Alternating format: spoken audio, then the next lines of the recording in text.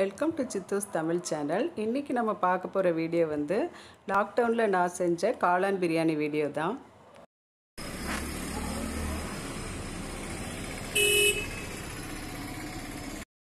இப்போல்லாம் நைன் ஓ கிளாக்கே கடையெல்லாம் மூடிடுறாங்க.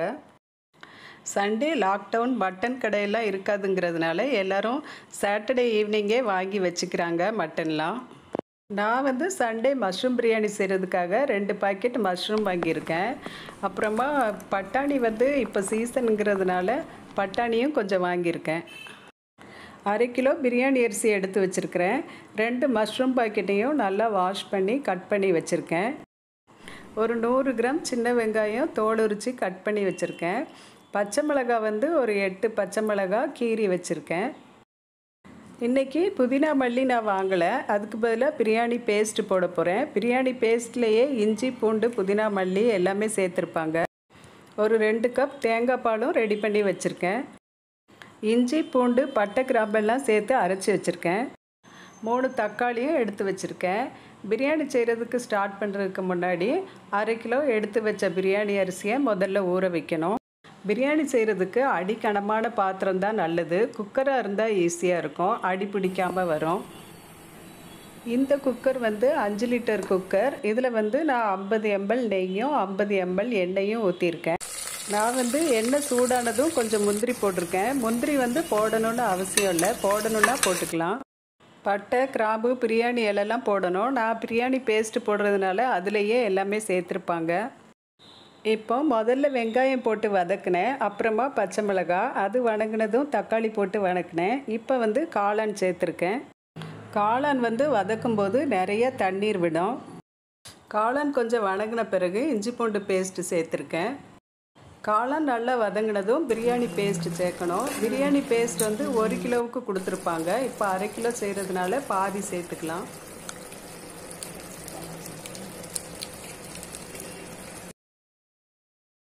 பிரியாணி பேஸ்ட்லேயே உப்பு சேர்த்துருப்பாங்க. அதனால் நம்ம இப்போ உப்பு போட வேண்டாம். இப்போ நல்லா தண்ணியெல்லாம் வத்திருச்சு.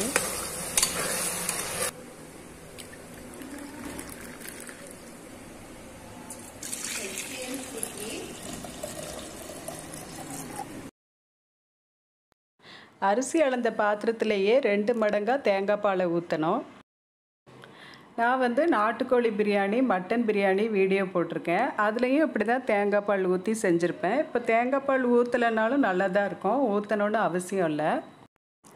பட்டாணியும் கண்டிப்பாக சேர்க்கணுன்னு இல்லை. இப்போ சீசனுங்கிறதுனால எனக்கு பிடிக்குங்கிறதுனால சேர்த்துருக்கேன். பிடிக்கலன்னா நீங்கள் சேர்க்க வேண்டாம்.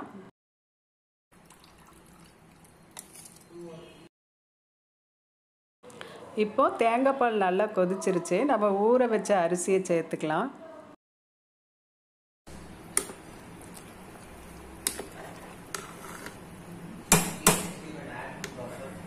பிரியாணி பேஸ்ட்டில் வந்து மிளகாத்தூள் சேர்த்துருக்க மாட்டாங்க. அதனால் நம்ம கொஞ்சம் காரத்துக்கு மிளகாத்தூள் சேர்த்துக்கலாம். உப்பு காரம் வந்து இப்போ செக் பண்ணிவிட்டு மூடி வச்சிடலாம். நான் இங்கே பிரியாணி செஞ்சிட்ருக்கும்போது மோகவும் சிரியும் ஐஸ் கட்டியில் பச்சை மிளகாய் போட்டு விளையாண்டுட்டு இருக்காங்க அது அப்படியே கீழே முங்கிடுச்சு அது. இங்க இருக்கு. எங்கே? இந்த சைடு பாருங்க. ப்ரௌன் கலர் இந்த சைடு திருப்பு. தரேன் வாட்டர்மெலன் சைடு தெரியல. பிரியாணி பாதி வெந்திருக்கப்பவே ஒரு தடவை நல்லா கிளறி விட்டுருக்கேன்.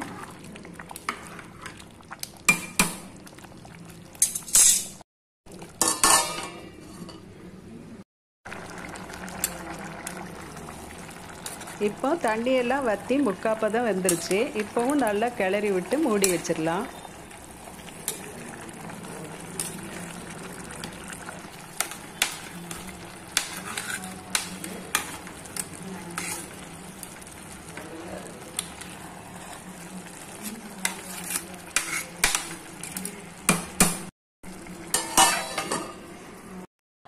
இப்போ ஒரு சூடான தோசைக்கல்ல பிரியாணியை வச்சுட்டு சிம்மில் அஞ்சு நிமிஷம் வச்சு ஆஃப் பண்ணிடலாம். இப்போ பிரியாணி எப்படி உதிரி உதிரியாக வந்திருக்குன்னு பாருங்கள்